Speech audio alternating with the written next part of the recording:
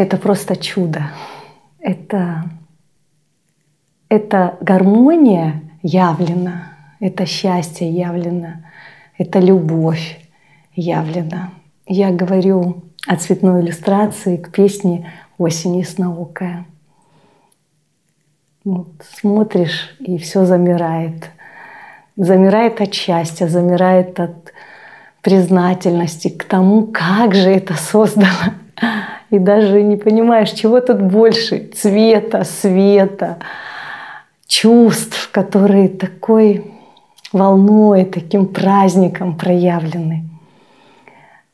Для моего сердца здесь все о любви.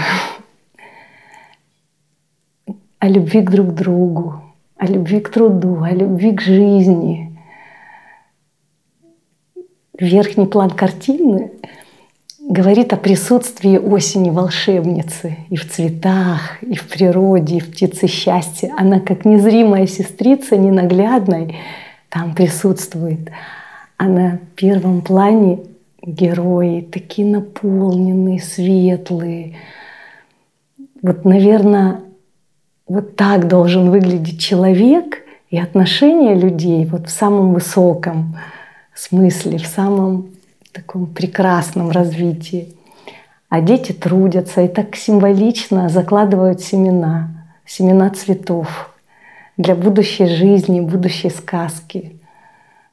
Очень красиво, очень глубоко, вот, очень радостно.